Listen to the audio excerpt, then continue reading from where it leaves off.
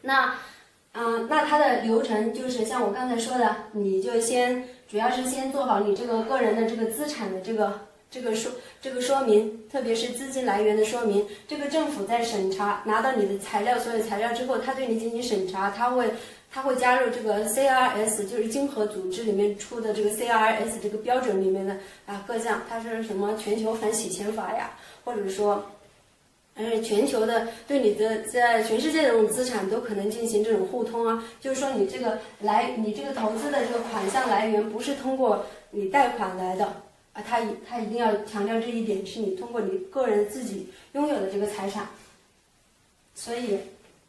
所以这一点啊，这个他就是经过三四个月的这种审核吧，大家就嗯注意一下，那审核通过了之后。啊，你就在他啊给你发的这个批批准之后，在三个月之内，接下来的三个月之内，你完成你对应的这个投资行为或者捐款行为，完成了之后，你就可以来拿到他的居留了。